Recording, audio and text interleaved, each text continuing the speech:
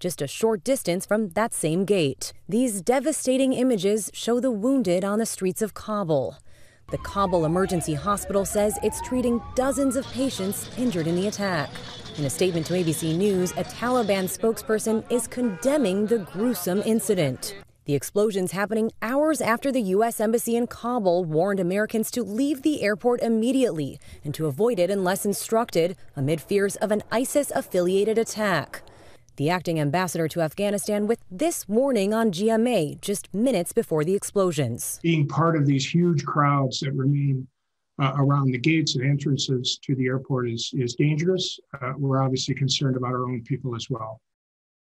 The White House says President Biden spent the morning in the Situation Room with his national security team. The president has now canceled or postponed several events on his public schedule for today.